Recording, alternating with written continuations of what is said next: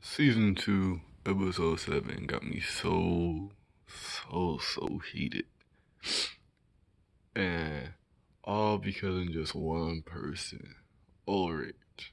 Alright, so Ulrich, if y'all don't remember who he is, he is the samurai dude. Alright, so old buddy pretty much is just trying.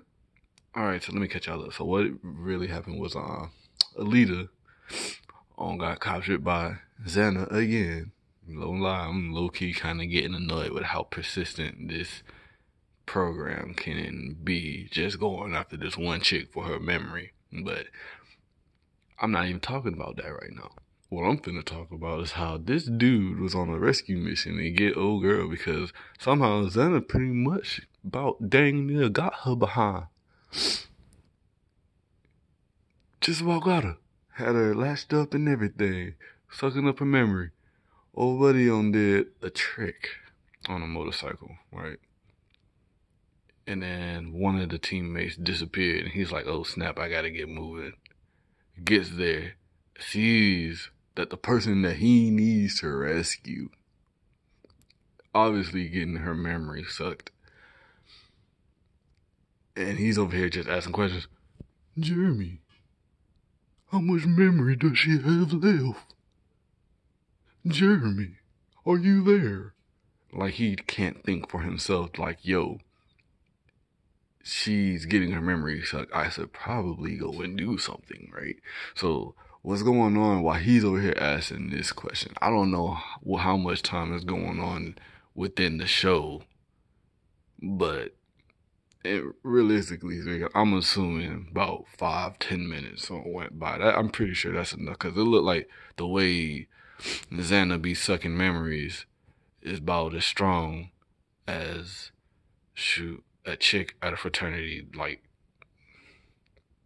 giving some grade A dome.